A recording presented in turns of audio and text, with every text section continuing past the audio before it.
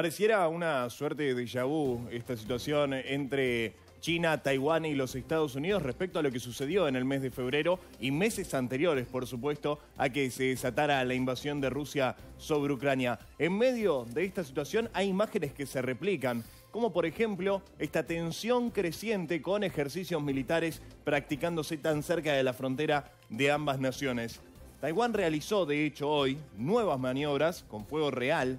luego de lo que fue los movimientos de China que culminaron con sus propios ejercicios y que reiteraron sus amenazas de recuperar la isla por la fuerza en el marco de una crisis que se desató, recordamos, se termina de desatar con la visita de la líder del Congreso de los Estados Unidos, Nancy Pelosi, a Taiwán. China reaccionó con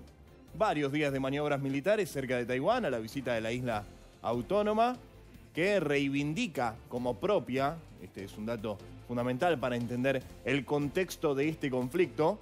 Y Taiwán acusó a China de haber aprovechado la visita de la semana pasada para ensayar una posible invasión de la isla, pero rechazó críticas a sus maniobras militares diciendo que ya estaban programadas de antemano antes de las que realizó China.